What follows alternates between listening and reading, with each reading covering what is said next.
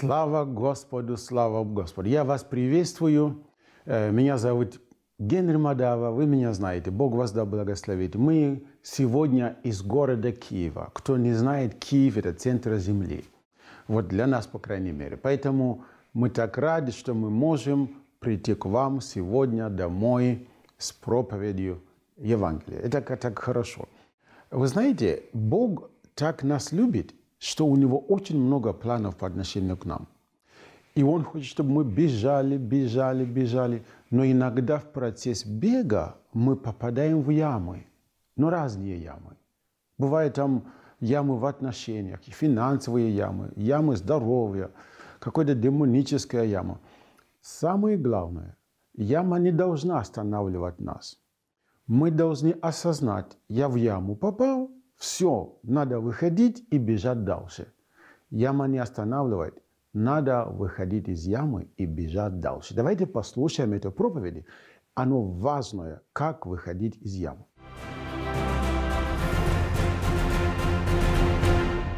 Сегодняшняя проповедь. Прощай, яма, я выхожу. Бог желает, чтобы мы вышли из любых ям. Дело в том, что ямы в Библии или в разных временах это было ловушки, которые создали, чтобы поймать животных или сеть ловца. Поэтому, когда Библия говорит о том, что есть сеть ловца, которую дьявол ставит, это вот эта яма. Животное идет, и земля тут, там яма. Сверху ставили э, ну, траву, чтобы было похоже на твердая земля. И поэтому человек подходит или животное, наступает и проваливается внутри. И таким образом поймали. Ямы также использовали не только для того, чтобы поймать э, животных или воров. Ямы также была как подземная темница, в которой закрывали людей. Когда ты очень особо опасный преступник, они бросали человека в яму. И в этой темнице, в ямы, ты не мог выходить. Поэтому дьявол часто использует ямы как метод поражения людей. Яма ограничивает. Яма не дает тебе двигаться. Яма делает, чтобы ты был ограничен. То есть угрожает, ограничивает и не дает тебе свободу движения. Вот. Поэтому любое обстоятельство, которое в твоей жизни, неважно какое, которое держит тебя, ограничивает тебя, не дает тебе двигаться, это и есть яма в твоей жизни. И помни, первичный источник всех ям – это дьявол. Неважно, как пришел, через кого пришел, каким образом пришел, первичный организатор любой ямы – это дьявол. И неважно, кто как тебя поместил в яму, из ямы можно выходить и надо выходить. Библия говорит, Бытие 37 глава, 24 стих, «И взяли его, это Иосифа, и бросили его в ров. Ров же тот был пуст, воды в нем не было, это Иосифа бросили в яму в рве, потому что он стал, он, папа его любил очень много, и он говорил папе обо всем плохом, что старшие братья делали. И за это они решили изолировать его от папы и бросили в яму. Даже когда они его забрали с этого ямы, продали, это они заменили ямы другой ямой. Вторая яма – это было рабство в Египте. Это была физическая яма, а то была яма, главная цели – изолировать от папы. И они как будто достигли своей цели, но они ошиблись. Иосиф вышел из ямы. И значит, и ты тоже выйдешь. Скажи, я выхожу. Я хочу, чтобы вы знали, что когда Иисус Христос умер за наши грехи, пролил кровь на Голгофе и воскрес из мертвых, Он знал, что многие из нас, мы будем в разных временах лежать, находиться в разных ямах. Он об этом знал. И когда он пролил кровь, он хотел дать фундамент, причины, по которой мы сможем выходить из ямы жизни. Бог не запланировал, чтобы мы жили в ямах очень всю жизнь. Мы должны выходить. Скажите, я выхожу. Вот. Самостоятельно выходить из ямы, из ямы невозможно. Потому что ямы, они тяжелые для того, кого бросили. Даже поместить человека туда не так легко. Притом ямы бывают разные. У кого-то яма депрессия. У некоторых есть яма не депрессия, а яма страха. Они никак не могут выходить. У кого-то яма волнения. Они волнуются настолько, что давление поднимается и не могут по ночам спать. Некоторые у них яма частого заболевания. Любая простуда, они тоже уже болят.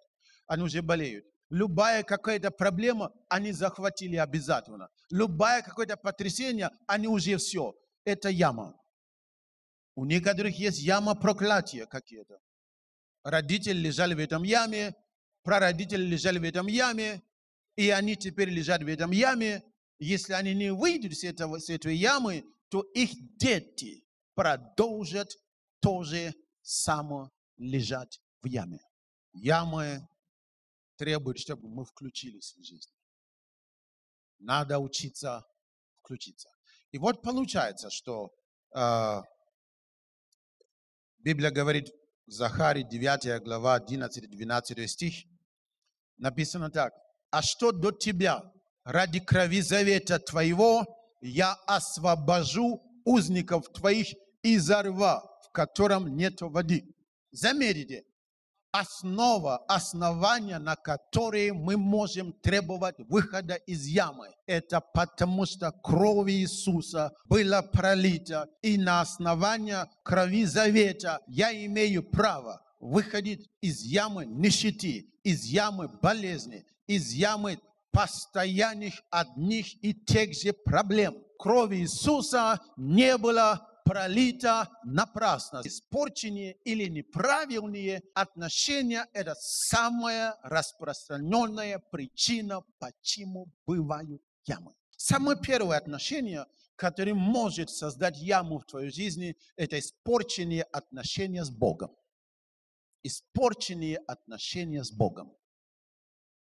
Если у тебя испорченные отношения с Богом, яма неизбежна.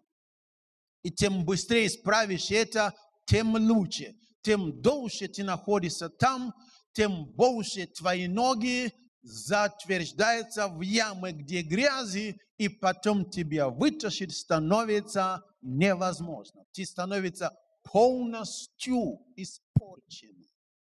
Если ты никогда еще не покаялся, сегодня приди к Иисусу. Сегодня исправь свои отношения с Богом. Если ты христианин, сделай убери испорченные отношения с Богом, ты бросай себя в яму и бросаешь всех, кто окружают тебя в яму. Они не заслуживают такое. Второе, испорченные отношения с твоим пастором обязательно тебя разрушат. Это хотелось бы, чтобы так не было, но оно так оно так поставлено. Притом это не обязательно, чтобы пастор знал, что у тебя нарушенное отношение к нему. Не обязательно. Иногда он может не знать. Послание к евреям 13-17. Повинуйтесь наставникам вашим и будьте покорни, ибо они неусыпно пекутся о душах ваших, как обязаны дать отчет, чтобы они делали это с радостью, а не воздыхая, ибо это для вас не полезно. И в лице пастора входят все остальных помазанников, которые служат и делают дело Божие. Они все входят в этом числе. Третье. Не только отношения с пастором, отношения с родителями. Они способны испорченные отношения с родителями, они представляют угрозой уничтожат тебе, потому что родители – это Божие э, власть на человека на земле и испорченные отношения с родителями уничтожат тебя. Библия говорит к Ефесянам 6 глава 2-3 стих. «Почитай отца твоего и мать». Это первая заповедь с обетованием. Какое обетование? «Да будет тебе благо, и будешь долголетен на земле».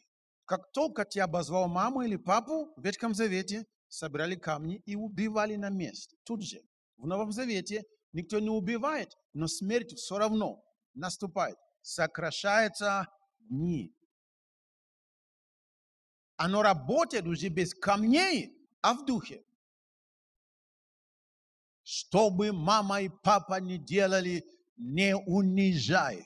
Если у тебя привычка унижать папу и маму, покайся, меняйся. Это сократит твою жизнь. И благо тебе не будет. Следующее. Испорченные отношения с мужем. Муж тоже представляет Божьей власти. Бог, Иисус, пастор там, родители, муж. Он тоже представляет Божью власть. И его придется слушаться. Почему Библия говорит, что молитесь за царей? Я не сказал, что муж ваш царь. Слушайте внимательно. Потому что цари, бывает, принимают неправильные решения, но его решения влияют. И когда мы молимся, Бог направляет мысли царя. Скажите аминь. Так же с мужем, между прочим. Мужья признаюсь. Ой, как больно признаваться, Господи. Мужья, мы не такие умные, как иногда кажется. Мы умеем вид умного, ха-ха, попробуй. Мы умеем показать вид все знающий, все охвачено вообще. Но мужа надо уважать и слушаться. Даже Библия говорит во всем. Отношения с женою. Говорится так. Читаем 1 Петра 3 главы с 3 стиха по 7. Да будет украшением вашим не внешнее плетение волос, не золотые уборы или нарядность в одежде, но сокровенное сердце человек в нетленной красоте краткого и молчаливого духа, что драгоценно перед Богом. Так некогда святые жены, уповавшие на Бога, украшали себя, повинуясь своим мужьям. Они не просто повиновались мужьям, они уповали на Бога. Почему? Потому что муж, бывает, надо шагать правой ногой, а он левой. А при этом надо его слушаться. Как? Уповая на Бога. Испорченные отношения с другими верующими. Это уничтожит тебя. Это создаст тебе яму. Библия говорит так. Матфей 5, 23. Итак, если ты принесешь дар твой к жертвеннику, и там вспомнишь, что брат твой имеет что-нибудь против тебя, оставь там дар твой, пойди прежде, помирись с братом своим, и тогда приди и принеси дар твой. Испорченные отношения нужно исправить, нужно меняться, нужно покаяться, нужно, чтобы стало все по-другому.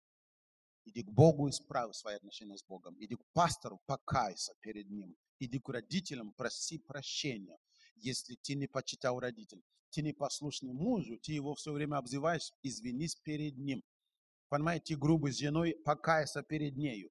Важно, чтобы мы не попали в яму. Яма из-за неправильное сообщество, из-за неправильную компанию. Библия говорит, Матфея 15 глава 13-14 стих. Он же сказал в ответ, «Всякое растение, которое не Отец мой Небесный насадил, искоренится. Оставьте их, а не слепые вожди слепых.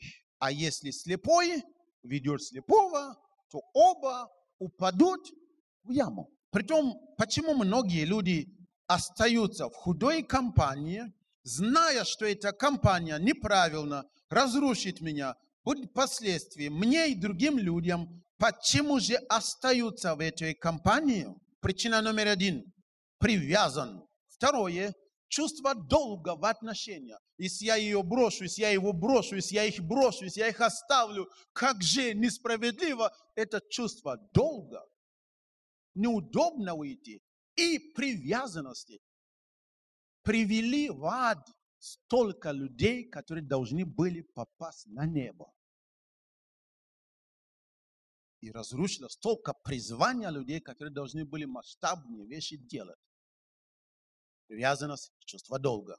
Проверь свою жизнь. С момента начала дружбы с некоторыми людьми своими, было ли мир в душе или ужас? Была ли радость или депрессия? Была ли постоянно дружба с Богом, с пастором, со всеми?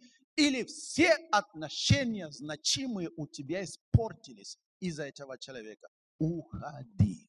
Яма демоническая – это не что иное, как нечистые духи, бесы. На основании каких-то негативных опытов в жизни, неправедный образ жизни, который или окружение, или людей, которые ты видел, дьявол всегда использует чего-то негативного в твоей жизни, и он нападает на тебя, пытается тебя разрушить. От Луки 9.1.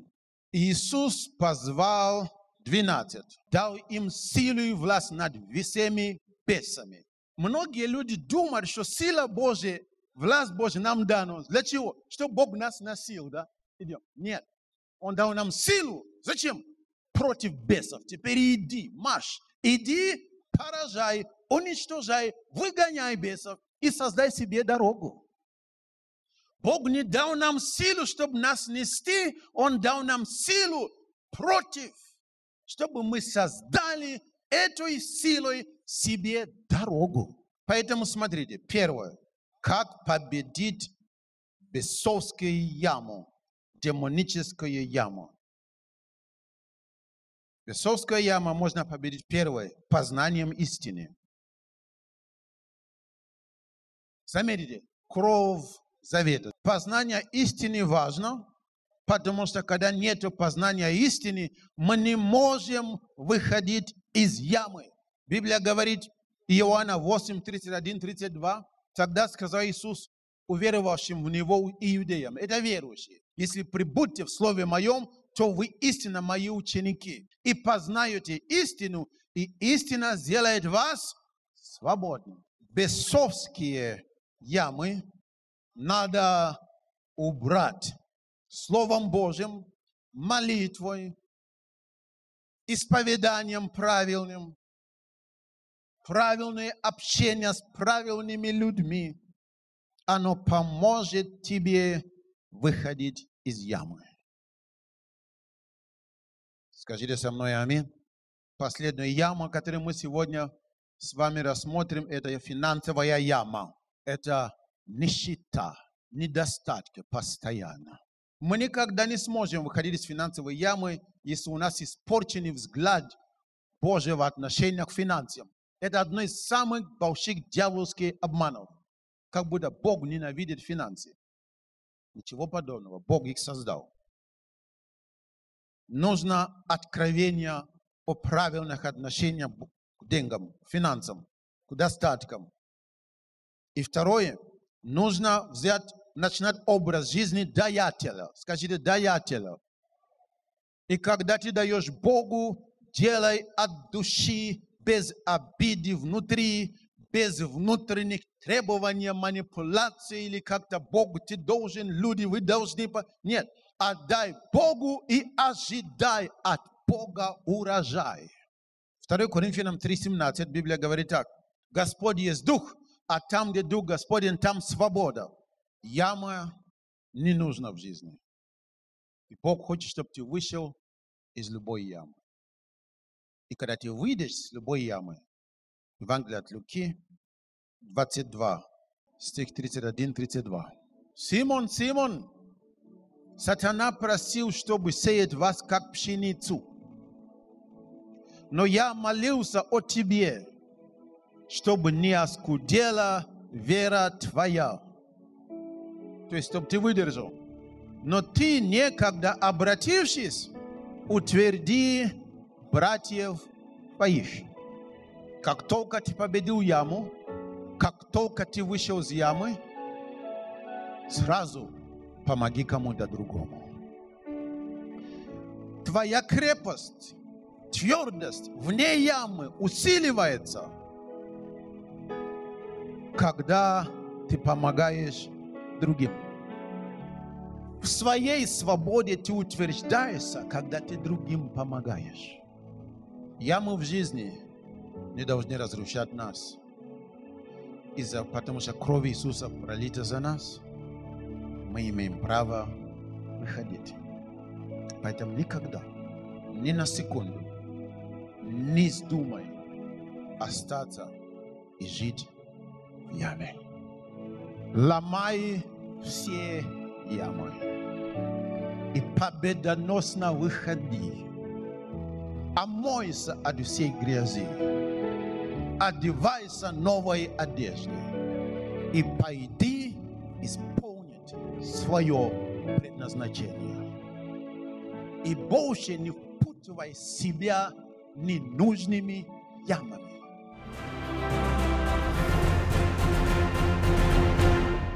Слава Господу! Это так хорошо, когда мы знаем, что нет ничего, что нас могут останавливать.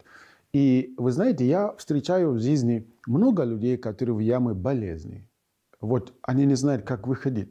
Но Бог, Он способен творить чудеса. И, между прочим, сегодня Он готов делать чудо для тебя. Точно так же, как Он сделал для тех людей, о которых сейчас вы услышите и вы увидите, и готовься получить свое чудо. Давайте послушаем эти свидетельства.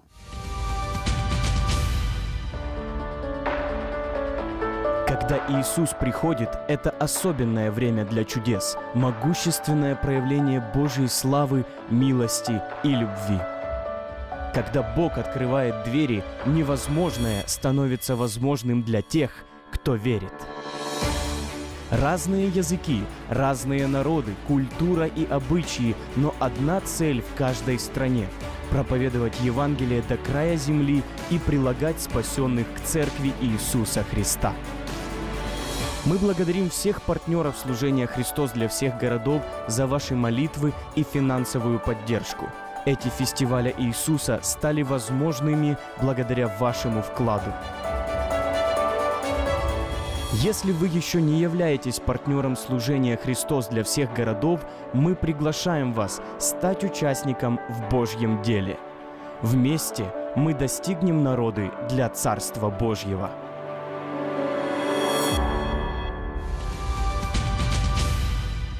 У Светланы на протяжении двух месяцев была боль в колене. Она даже не могла приседать. Сильно хрустела. Сейчас полностью боль ушла. У вас была боль в, какой, в каком? В левом. И сейчас не хрустит? И двигайте его. Так. Если вы делали это раньше, оно болело. Я не могла просто, не могла, ну, полностью. А вы не могли полностью Не вот могла, так? нет. А сейчас вы можете. слава Богу. Господь, благослови, Отец, во имя Иисуса.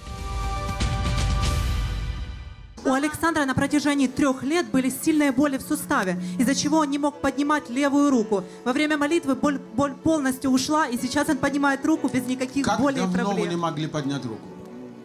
Где-то года три. Три года. Да, в начале этого года усилилось. Усилилось. Из-за чего это? Ну, возрастной, наверное, суставы. Возрастной сустав. 63 года. Но заметьте, а божественный сустав 63 года без боли. Боже, благослови его во имя Иисуса. Слава Богу, что Он любящий. Он не может исцелять одних, а других нет. Он готов и тебя тоже. Он готов творить чудо с тобой. Но самое большое чудо, самое большое, которое есть, это спасение души. Когда человек получает исцеление, он сегодня получил исцеление, обрадовался, но все равно через 50 лет его не будет. Но есть чудо, которое останется с тобой навсегда. Это спасение твоей души. Поэтому перед тем, как я помолюсь за исцеление, и, между прочим, сообщи родственникам, друзьям, пастора Генри сейчас будет молиться за исцеление, и пусть ожидает, потому что Бог сделает чудо с каждым сегодня. Мне нравится, когда Бог планирует исцелять именно меня сегодня. Вот сегодня Он запланировал исцелять именно тебя. Поэтому не пропусти. Но сначала мы получим самое главное чудо – спасение души. Для этого нужно с верой обратиться к Богу и просить прощения за грехи. Давай так и мы сделаем. Скажите со мной, Отец Небесный, прости меня, все мои грехи. Дай мне жизнь вечную. Войди в мое сердце, Иисус, и будь моим Господом и Спасителем. Во имя Иисуса. Аминь. Если вы помолились эту молитву искренне, то Господь услышал и простил. Да, пастор Генри, так просто? Нет. Это стоило жизни Господа Иисуса Христа. Он умер, чтобы было так просто. Теперь таким же образом, с той же верою, мы можем молиться за исцеление. Если у тебя есть болезни в теле, возложи руку там, где у тебя болеет, и я хочу помолиться. Одна рука протягивая к направлению телевизору или компьютер, а вторую руку там, где болит. И я буду молиться за чудо. Господь, я благодарю Тебя за каждого зрителя. Во имя Иисуса я приказываю все болезни уйти и исчезать от головы до ноги. Боже, пусть обмен веществ исцеляется и вес уменьшится. Я приказываю все внутренние органы исцеляться, металлические вещи в теле да растворяются, рак пусть умрет полностью, коронавирус и все вирусы пусть умирают. Я провозглашаю полного исцеления во имя Иисуса. Боже, пусть сустав колена исцеляется – именем Иисуса. Спасибо за исцеление плеча. Боже, мы благодарим Тебя за исцеление правого уха. Спасибо за Твою чудодейственную силу. Во имя Иисуса. Аминь. Пусть Бог вас благословит. Если у вас есть вопросы, всегда пишите и звоните. Если есть о чем радоваться, дайте нам знать, будем радоваться вместе с вами. Мы вас любим, Бог вас любит. С миром Божьим.